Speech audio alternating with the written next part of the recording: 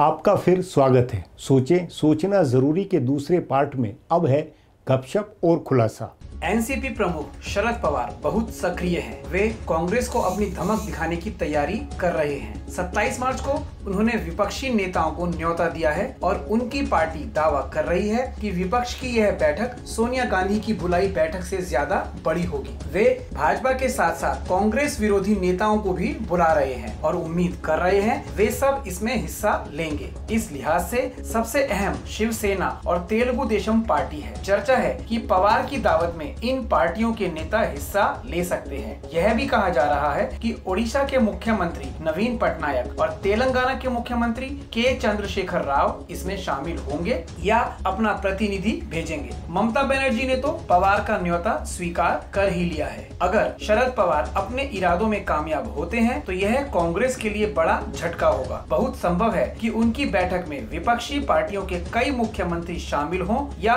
कम से कम उनके प्रतिनिधि हिस्सा ले। तृणमूल कांग्रेस के साथ साथ बीजद, टीआरएस, शिवसेना मनसे आदि के नेता इसमें हिस्सा लेते हैं और बाकी विपक्ष की हर बैठक में शामिल होने वाली 18 पार्टियों के नेता भी शामिल होते हैं। तो इससे आगे की बड़ी राजनीतिक तस्वीर उभरेगी।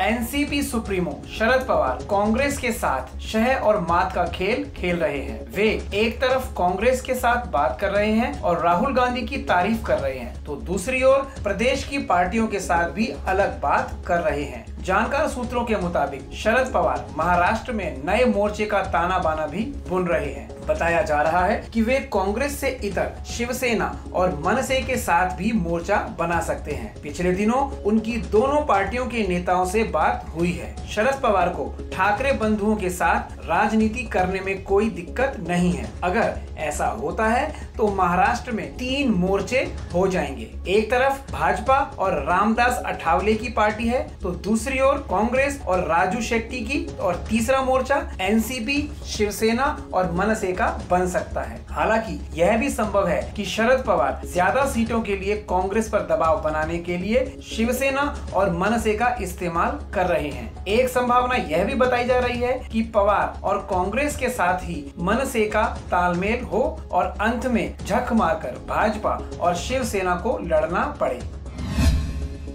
सुहेल देव भारतीय समाज पार्टी के नेता ओम प्रकाश राजभर ने राज्यसभा चुनाव में भाजपा का साथ देने का ऐलान कर दिया है। इससे नौवीं सीट का मुकाबला दिलचस्प हो गया है। उधर उत्तर प्रदेश में इस समय 402 विधायकों की विधानसभा है, जिसमें भाजपा और उसकी दो सहयोगी पार्टियों के पास 324 विधायक है। राज्यसभा की एक सीट जीतने के लिए 37 वोट की ज़रूरत है। सो, भाजपा के पहले आठ उम्मीदवारों के लिए दो सौ छियानवे वोट की ज़रूरत है। उसके बाद भाजपा के पास 28 वोट बचते हैं। दूसरी ओर अपना एक उम्मीदवार जिताने के बाद सपा के पास 9 वोट बचते हैं। बसपा के 19 कांग्रेस के 7 और रालोद के एक विधायक को मिलाकर उनकी संख्या 36 हो जाती है। पर मुश्किल यह है कि सपा के नितिन अग्रवाल और निषाद पार्टी के विधायक विजय मिश्र भाजपा का समर्थन कर रहे हैं। दूसरी मुश्किल यह है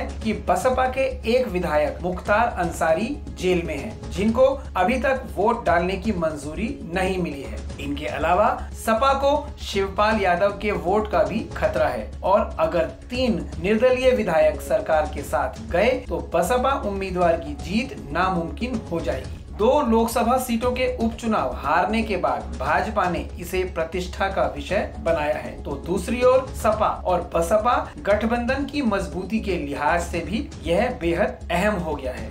आप देख रहे हैं, सोचें, सोचना ज़रूरी है। अब है खुलासा। ताज़ा सुर्खियों में और बहस में जिस बात ने आपको भड़काया है या कंफ्यूज किया है, उसका मतलब क्या है और ओर छोर क्या, इसे समझने के लिए अब देखें आज का खुलासा। भारतीय जनता पार्टी के नेता और केंद्र सरकार के मंत्री इस बात पर भड़के हैं कि इराक के मोसुल में उनतालीस भारतीय नागरिकों के मारे जाने की खबर पर भी कांग्रेस पार्टी राजनीति कर रही है। सवाल है कि इसकी शुरुआत किसने की? क्या ये सही नहीं है कि सरकार ने इराक से आईएस हृदय विदारक सूचना पर राजनीति शुरू की? मारे गए उनतालीस लोगों के परिजन हैरान और दुखी है की उनको इस भयावह खबर की सूचना टेलीविज़न ऐसी मिली। सरकार ने उनको सूचित करना ज़रूरी नहीं समझा, जिनके परिजन पिछले चार साल ऐसी उनके इंतज़ार में बैठे थे। यह खबर सबसे पहले संसद में देने की क्या ज़रूरत थी? क्या ये कोई संसदीय प्रक्रिया से जुड़ा मामला है या कोई नीतिगत फैसला है, जिसे संसद सत्र के दौरान बाहर नहीं कहा जा सकता। सरकार को सोमवार की शाम ये सूचना मिल गई थी। उस समय से लेकर मंगलवार की सुबह ग्यारह बजे तक क्या सरकार की ज़िम्मेदारी नहीं बनती थी कि वो मारे गए लोगों के परिजनों तक निजी तौर पर ये सूचना पहुँचाए? पर ऐसा करने की बजाय सरकार ने राज्यसभा में ग्यारह बजे इसकी जानकारी दी। यही से राजनीति शुरू हुई और फिर कांग्रेस ने भी इस मसले पर खूब राजनीति की।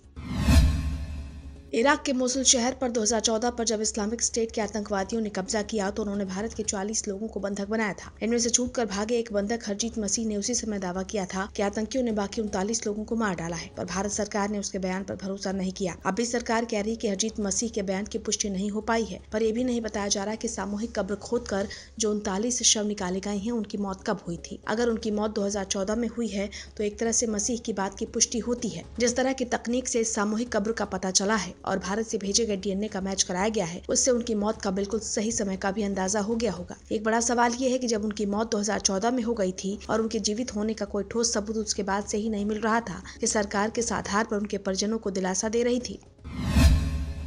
पहला तो ये कि उसने किस आधार पर अगवा किए गए भारतीयों के परिजनों को दिलासा दिया था और दूसरा ये कि उसने सोमवार की शाम को सूचना मिलने के बाद परिजनों को इसकी जानकारी क्यों नहीं दी? क्यों इस बात पर ज़ोर दिया कि सबसे पहले संसद में इसकी जानकारी दी जाएगी? सरकार को इस बारे में विस्तार से देश को सब कुछ बताना होगा। सुषमा स्वराज ने वैसे प्रेस कॉन्फ्रेंस करके इस बारे में सूचना दी, लेकिन उनकी प्रेस कॉन्फ्रेंस का मकसद देश को इस बारे में विस्तार से सूचना देने से ज़्यादा अपना बचाव करना था। वो बार बार कह रहे थे कि उन्होंने लोगों को गुमराह नहीं किया और किसी को झूठा दिलासा नहीं दिया। ये सही है कि उन्होंने कहा कि जब तक मौत की पुष्टि नहीं हो जाती, तब तक वो मौत की घोषणा नहीं कर सकती थी। पर जब सरकार को उनके मारे जाने की कोई सूचना नहीं मिल रही थी तो उनके जीवित होने की भी कोई सूचना नहीं मिल रही थी। फिर भी मारे गए कई भारतीयों के परिजनों ने कहा है कि उनको विदेश मंत्रालय ने कहा था कि बंधक बनाए गए लोग जीवित हैं। कपूरथला के बलजिंदर और जालंधर के कुलवंतर का मानना है कि वो ग्यारह या बारह बार सुषमा स्वराज से मिले और हर बार उनको बताया गया कि इराक में सूत्र बता रहे हैं कि बंधक बनाए गए लोग जीवित हैं। क्या सरकार इस बात का खंडन करेगी कि परिजनों से ऐसा नहीं कहा गया था?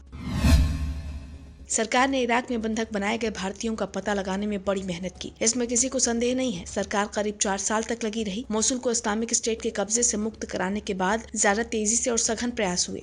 उसमें सरकार की मंशा पर कोई सवाल नहीं उठाया जा रहा। प्रदेश राज्य मंत्री वी के सिंह ने विस्तार से बताया की कैसे वो गाँव गाँव जाकर भारत में बंधकों का पता लगाने का प्रयास किया। लोगों की झूठी सूचनाओं से सरकार गुमराह हुई। पर सरकार ने ये नहीं सोचा कि 40 लोग बंधक बनाए गए हैं और इतने लोगों को इतने समय तक छिपाकर नहीं रखा जा सकता। आखिर उसी जगह पर इसी तरह बंधक बनाए गए नर्सों को छुड़ा लिया गया था, जबकि बंधक मजदूरों का कोई सुराग नहीं मिल रहा था।